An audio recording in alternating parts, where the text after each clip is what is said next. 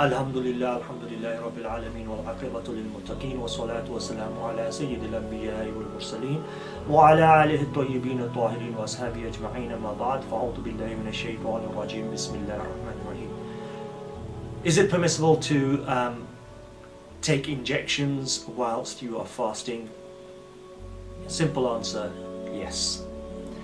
It is permissible to take injections of any kind be that intravascular, intramuscular, intra-articular during in your joints, etc. This does not break your fast.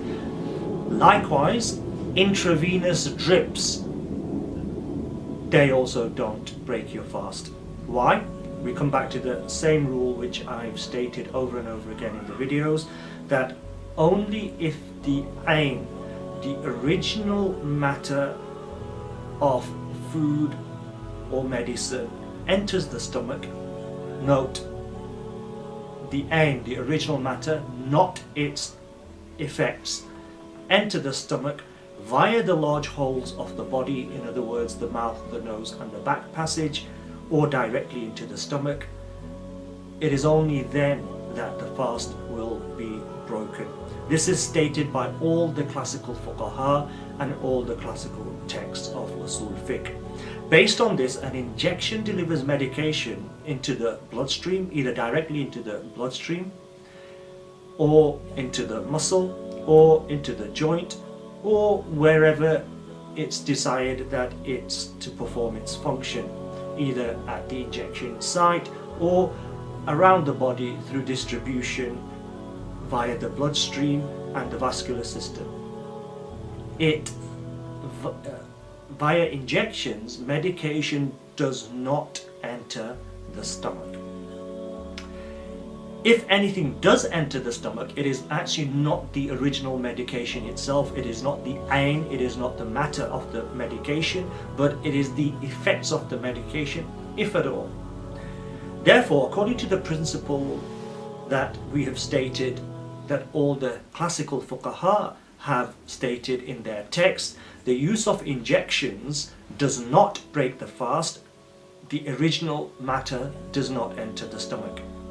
Now some modern day scholars have ruled that injections, drips and so on actually do break the fast and the reason they have given is that injections or the use of drips this provides sustenance to the body or it provides energy or it benefits the body, energizes the body or the like.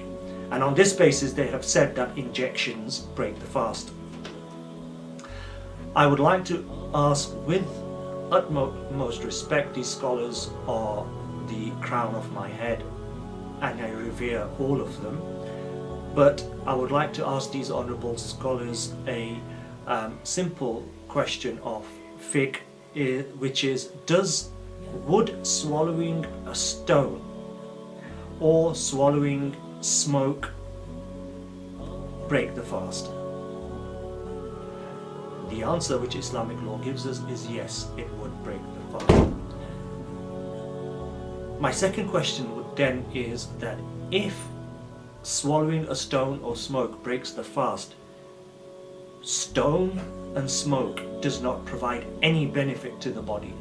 It does not provide any sustenance, any energy, no benefit to the body whatsoever. Yet, swallowing a stone or smoke does invalidate and break the fast. So from here, we must understand and concede that benefit to the body or providing energy or sustenance to the body is not a reason which breaks the fast. Because if that was the reason, then swallowing a stone or swallowing smoke would not break the fast. It should be noted that this reason of sustenance and benefit to the body does not conform to the rulings of the classical scholars and texts who all state the principle that we've already mentioned that any matter which enters the stomach through the large holes will break the fast. As long as this principle is adopted, then injections cannot break the fast.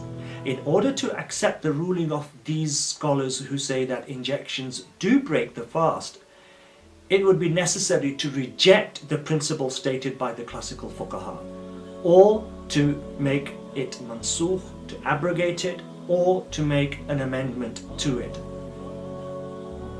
My question is, is there anyone in the modern age who can challenge this rule which has existed through 14, almost 15 centuries of Islamic history.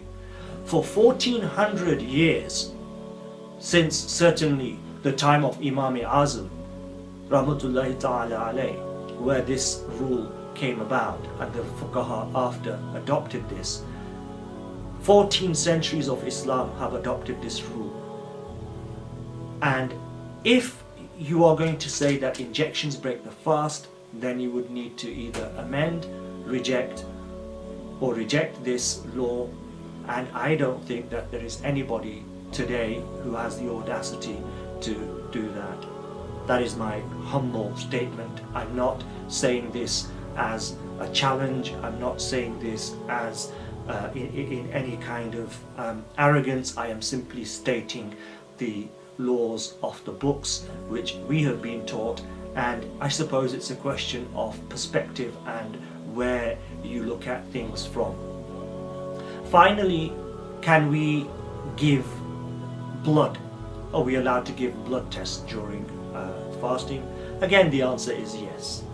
Why? Because again, when you are giving a blood test, you are taking blood out of the body. You are not put, putting anything in the body. And on that basis, again, um, taking blood to give blood tests does not break the fast and therefore is completely permissible whilst you are fasting. وآخر دعوانا أن الحمد لله رب العالمين